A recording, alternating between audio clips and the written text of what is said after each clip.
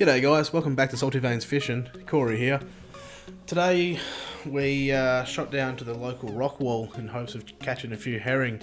There was a pretty big storm that uh, hit Perth last night and it unfortunately brought quite a bit of seaweed and residual sort of wind uh, today so it made filming a bit more difficult so unfortunately everything that I say in the video is too hard to hear. I have to voice over. But basically, as I'm explaining here, that uh, we're down chasing herring, bit of burley, just some pre-mixed stuff. But the best way to do it is to make your own, in my opinion. Just didn't have time. But um, keeping it simple, I was using a small metal slug, a little sort of Gomoku jig, um, single assist, and then on the uh, on the Nese's rod and reel, just ran a small burley cage with a handful of burley about a metre of six pound trace line and a size 8 long shank hook. Piece of muley, and it's a simple sort of cast and real slow retrieve. As you can see here, it weren't casting too far, but uh, the issue we had was the surge had brought quite a bit of seaweed into the marina area of the rock wall, and uh, it made fishing quite difficult to say the least. There was a lot of weed, and it just wasn't working how I'd hoped. Uh, but the retrieve to use is just slow, real sort of concentrated. As you can see, the swell was up a little bit. The wind was just starting to pick up again. And we're down there about 11 o'clock, so plans had changed. We decided to move. Um, in the marina, there's a couple of nice little sort of jetties where you launch your boat, and when launching my boat, I've noticed some good bream that hang underneath, so we decided to move to them. A bit more protected from the wind, and the seaweed wasn't nowhere near as bad, so it made it uh, a lot easier to sort of get into a few fish. I was casting there that little metal slug, but uh, unfortunately it didn't come up too well. Harmony here was throwing in some burley, keeping the fish entertained. I think she just enjoys getting her hands dirty more than anything. But it's all part of the fun of fishing. Here I'm just twitching a little grub, little two and a half inch grub around. The fish were following it, just couldn't get them to, to connect and, and, and hit it unfortunately. Turns out what we were seeing was actually a, a school of mullet or yellow-eyed pilch. And while they were chasing the lure, they weren't actually hitting it. But uh, Harmony did alright with her first sort of cast, messing around and connects up nicely to her herring.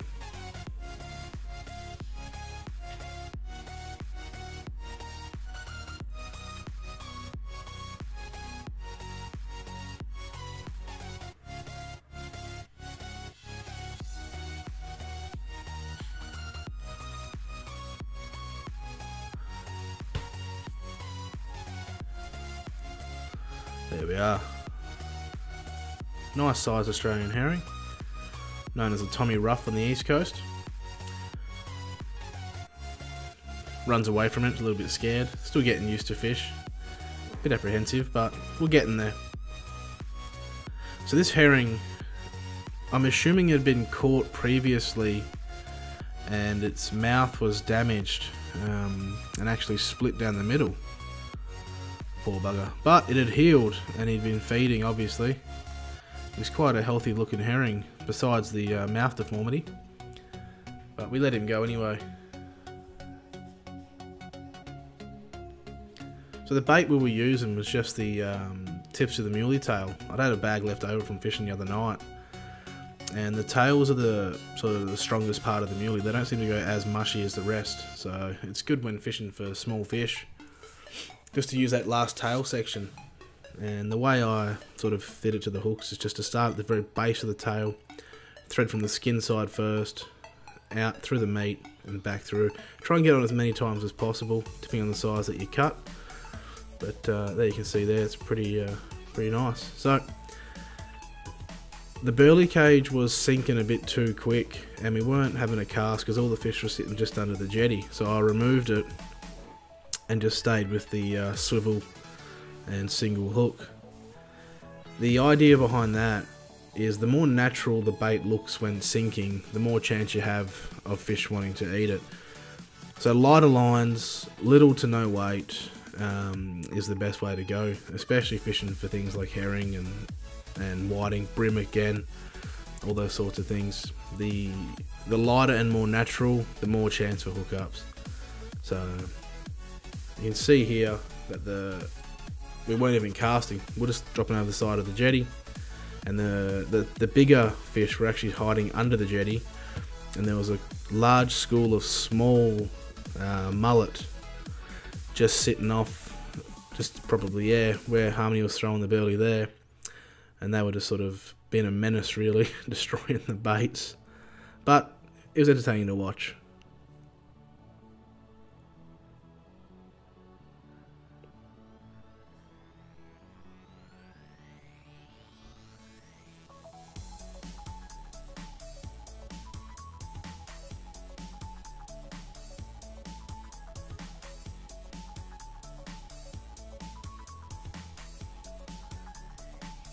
Right now I'm just cubing up a muley. So the idea here is to just slowly introduce parts of the uh, the bait you're using to the water. Gets the fish sort of feeding and more used to eating that type of bait when you put your yours in the water. As you can see here, a nice yellow eye pilch took a liking to the muley fillet. Now these things make exceptional bait, so these ones are coming home with us and uh, I'm going to take them to Exmouth at the end of July. Hopefully, turn them into something a bit more substantial.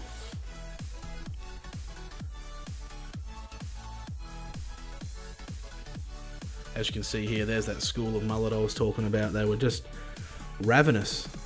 Managed to hook one, but unfortunately, he dropped off just just at the edge of the jetty. And then the dreaded blowies moved in. Luckily, they weren't too much of a pain, but this is the thing with burleying. You know, it's bound to happen. They'll eventually turn up. You know, any of the marinas and rock walls are going to hold a, a, fair share of, of blowies. They're a bit of a pain, but that's where using lures comes in handy. Small soft plastics and metal lures, chasing herring and tailor and, and skippy off the rock walls or jetties. It just minimises the bycatch of blowfish, but look, these things are a part of the natural environment and, and the ecosystem, and they deserve to stay alive, so I always return them.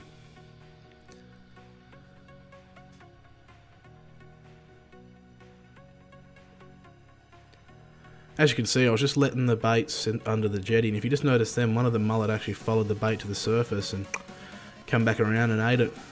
And there we are there. I was lucky to land this one actually because he fell off the hook. Almost lost him.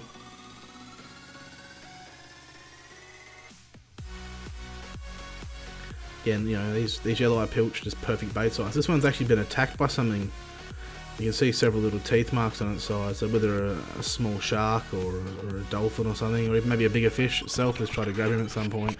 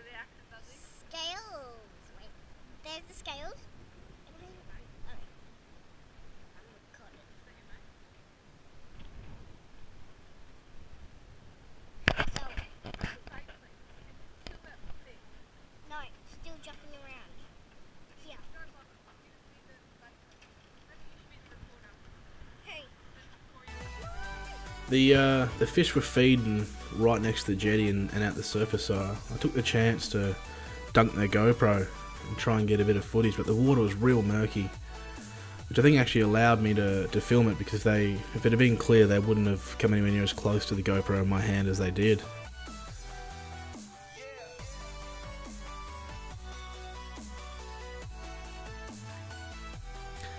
This is where, you know, a cast net or, or even a prawn net just to dip in and scoop out would have been handy to get a good load of bait, but, uh, you know, we're not too greedy.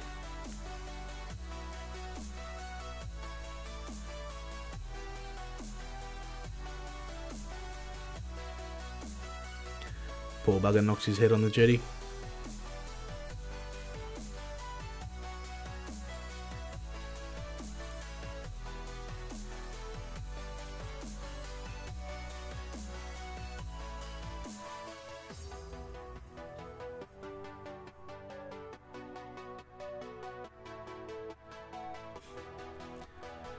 Another blowfish for good measure. This one got the perfect release. Give him a 2.5 for the dive.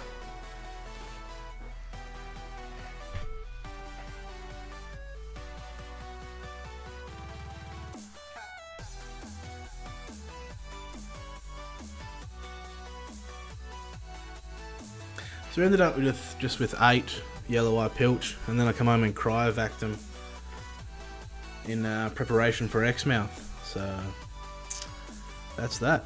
But uh, no, thanks for watching. If you enjoyed the content, don't forget to like, and if you want to see more, make sure you hit that subscribe button to keep up with Salty Veins Fishing. Until next time, catch you later.